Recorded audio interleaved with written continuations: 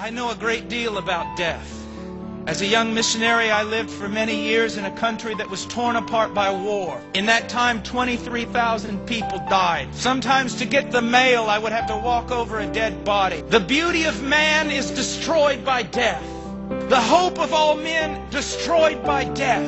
In my family, it has been torn apart by death. My brother was killed when he was six years old. My father died in my arms in the middle of a field. And a few years ago, I preached the funeral of my sister. I know much about death, but death is too strong of an enemy to overcome. No matter how much you wrestle him, no matter how much you fight against him, no matter how much you live in self-denial that he is not going to knock on your door, know this, that he is coming for you. And there is nothing you can do about it. As David said, there is but a few steps between me and death. Within just a few years, some of you will be dead. Within 25 years, many more of you will be dead. And with a hundred years, not only all of us will be dead, but we will be forgotten. All our hopes will be crushed. Every memory of whatever we have done will be erased.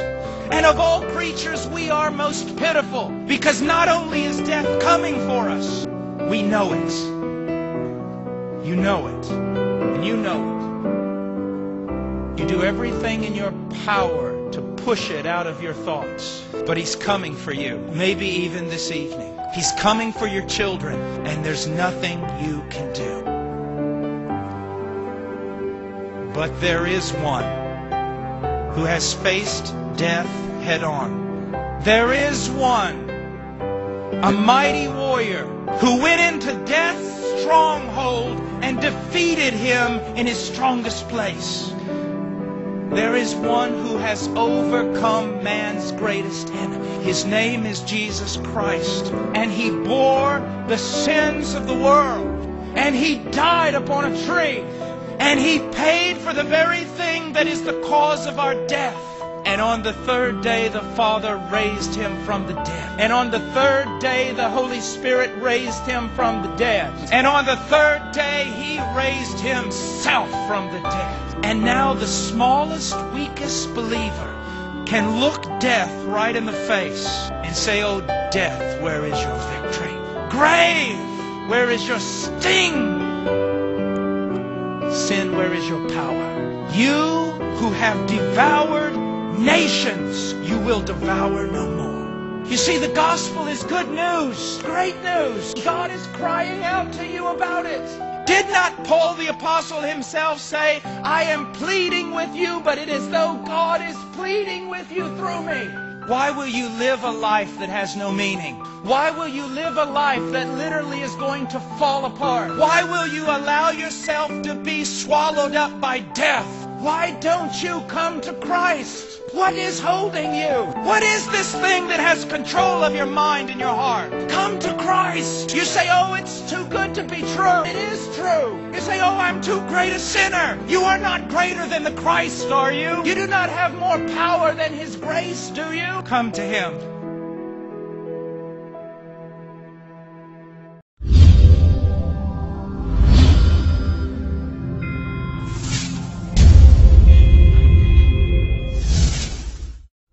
Do you want to know what your profession of faith in Jesus Christ is worth?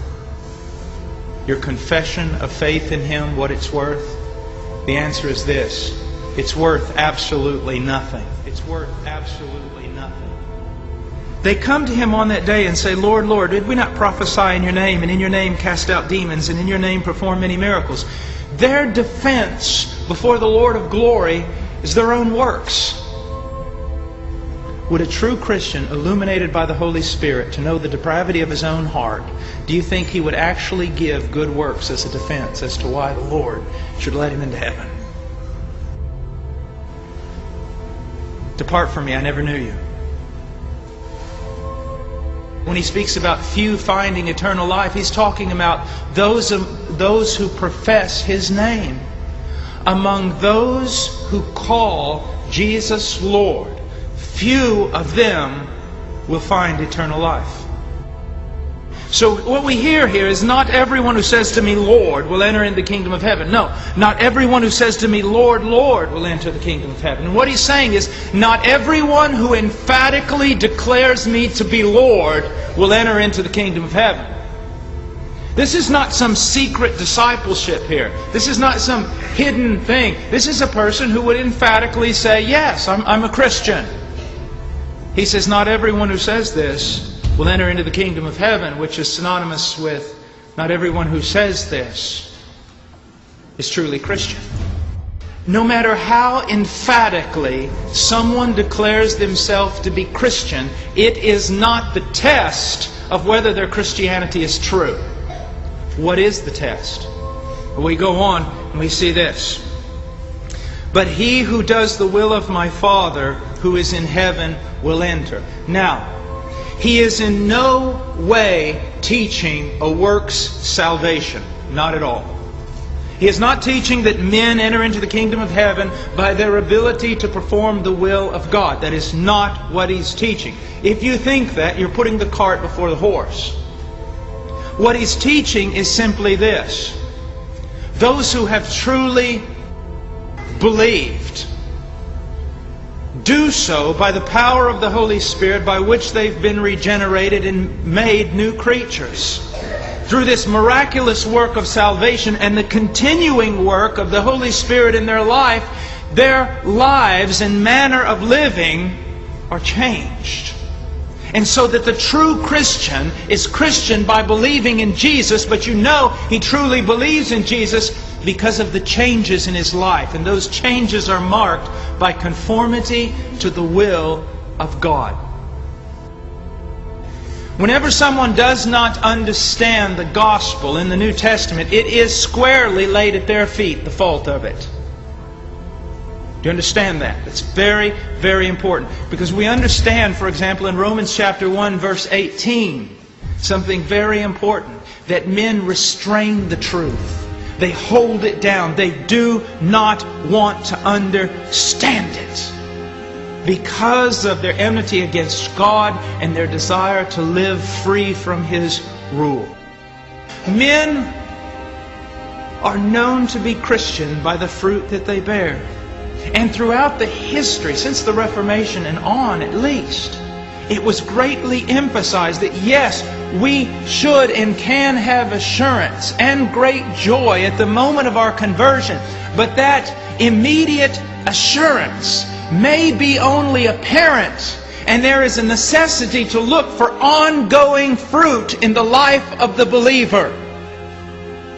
Because the evidence that we are disciples, as we found out last night in John chapter 8, is that we continue on in His Word and that we bear fruit, according to chapter 15 of John, and fruit that remains. So, in no way is Jesus teaching that salvation is the result of our ability to conform to the will of God. What he is teaching is simply this a man that has truly been converted, regenerated by the power of the Holy Spirit, will be a new creature who will live a different way.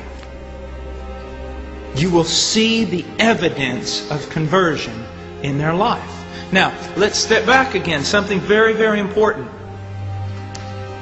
The believer's life is not a continual upgrade in a sense, without any obstacle in it.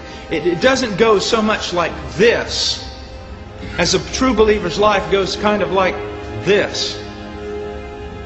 We do struggle with sin. We do have setbacks. We, we can go through many a troubling time. But what does the Bible guarantee us? For the true believer that he who began a good work will finish it, and that the Father is constantly disciplining those whom he loves. And we see here that salvation is not simply the work of the Son or the Spirit, but is also the work of the Father, especially in regard to sanctification. In John chapter 15, verse 1, I am the true vine, and my Father is the vine dresser. He's the one who takes care of the vine. Now listen to what he says. Every branch in me that does not bear fruit, he takes away.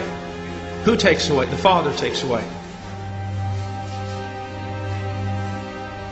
Now, just exactly where does he take them? Verse 6 If anyone does not abide in me, he is thrown away as a branch and dries up, and they gather them and cast them into the fire, and they are burned. There is absolutely no such a thing as a continuously carnal Christian or a continuously barren Christian or a fruitless Christian. It does not exist. Everyone, I know Jesus. Well, that's wonderful. Does he know you? Everybody wants to go to heaven. They just don't want God to be there when they get there. But I, I want to tell you something. You don't want to go that nasty old hell, do you? What, are you trying to get them saved based on self-preservation? You set a field on fire and every venomous snake in that field will run away from that fire, but when it does, it's still a venomous snake. The question is not, do you want to go to heaven?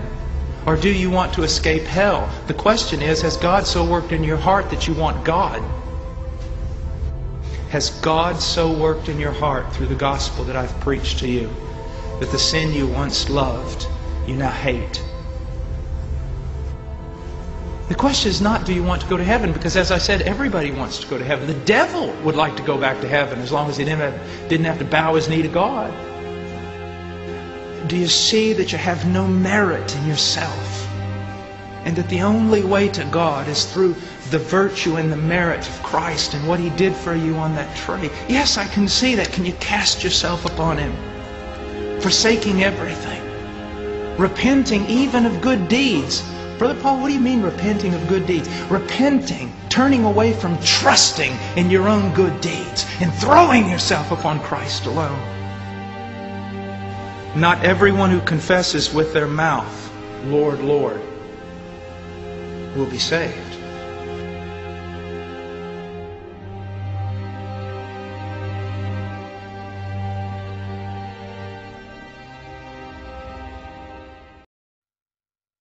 What is a motivation for being holy? Thou art all fair, my love. There is no spot in thee. Many times you come to see that you're walking in a place you shouldn't be walking or living in a way you shouldn't be living. And immediately condemnation comes upon you. And that condemnation drives you farther away from, from Christ. You feel ashamed. You feel like it's, it's a works idea of, well, I've got to, you know, get my life fixed, do this and everything, and then kind of earn some brownie points and then come back. And we have so much old covenant teaching and do not realize about the new covenant. Some things that are so beautiful. Christ really did pay it all. He really did pay it all. And when you come to the realization the Holy Spirit has convicted you in your heart that you're wrong, you should not be listening then to the devil who begins condemnation and everything else and tries to drive you further and further away from the Savior. When the Lord tells you you're wrong, He says also, He says it like this, He goes, you're wrong. I love you. Come back. You're wrong. You are without spot before me. Come back. I love you. You want to know what happens when a believer sins?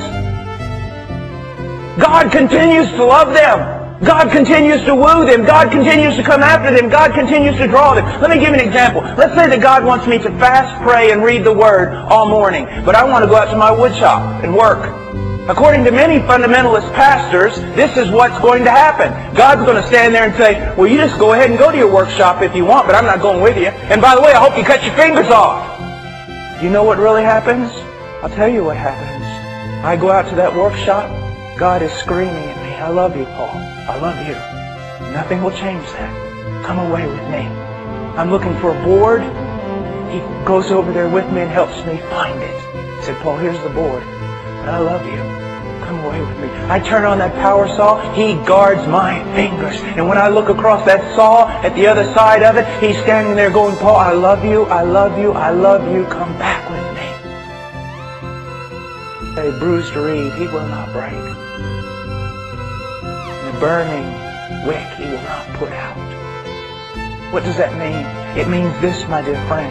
Well, you go down to Israel, and, and there the children would cut cane. There's just thousands and millions of cane growing everywhere. And they would cut cane, and they would, they would make a flute out of it. But as they were making the flute with the cane, the, the flute would sometimes just break because cane is very fragile.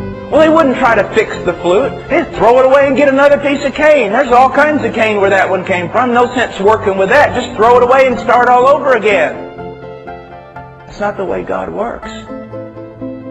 God, God selects a piece of cane, begins to work with it, play beautiful music on this thing. And then for the fractures and the failure and the cane itself, it breaks. God doesn't take that broken believer and throw him out and say, well, I, you know, I'll get someone else. I got plenty where this guy came from.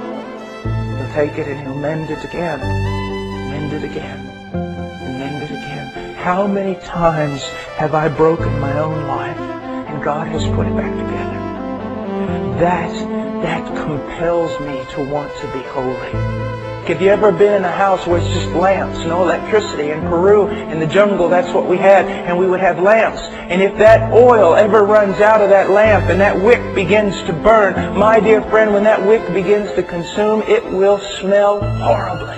It begins to burn because there's no longer any oil. And it stinks, and what you do is you just take the thing, open up the window, and throw it outside. It stunk up the whole house. The thing that was supposed to give light has done nothing but stink up everything.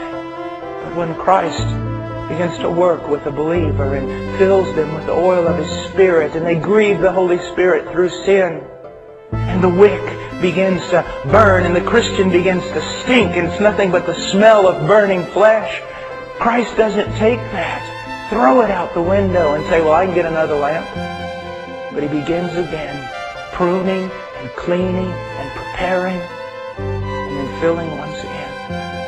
What is the motivation for being holy? The way God sees you in Christ. He says, Thou hast ravished my heart, my sister, my spouse. Thou hast ravished my heart with one of thine eyes. It's talking about when you look at me. Literally, my heart beats faster when you look at me. Is this true? Does it really mean that every time I give a heavenly glance, every time I look towards my Father in heaven, His heart beats faster? Do you see that? Does that not excite you? Does that not encourage you to pray? Does that not encourage you to keep your eyes on Him? That every time I look to the Father, His heart is ravished. Every time I, look, my little boy, when I get home, I just look and when he peeks around that door and looks at me, I am just on fire. You see, you think most of the time you go to God and He's like just, well, I gotta listen to Him. That's the covenant. I gotta stay here. If you're a believer, every time you turn your eyes upward in prayer, the Father's heart beats faster. He is so full of divine joy. He so awaits your glance. That makes me want to just stop preaching right now and go pray. And then he says this, look what he says. He says, ravished my heart with one of thine eyes, with one chain of thy neck. With a necklace, literally. I'm mesmerized by the beauty of that necklace you have on. And what would that be? But grace? What would that be? The very gifts. He says, the very gifts I gave you when I see them. They ravish my heart. Oh, my dear friend, if you could only, I don't know if you're, if you're even, you might just totally disagree with me on this. I don't know, but if you could only see what I'm saying here. That when you bow your knee to prayer, when you bow your knee to pray, when you look up, when you're walking down the street, when you're in Walmart, wherever, and you give that upward glance, Father, it ravishes his heart. And when he looks down at you, he sees only that which he has given you. Grace upon grace and mercy upon mercy. Don't you want to be holy? Don't you want to pray? If things are such as the Bible says, doesn't that change everything? What is the motivation, for being holy?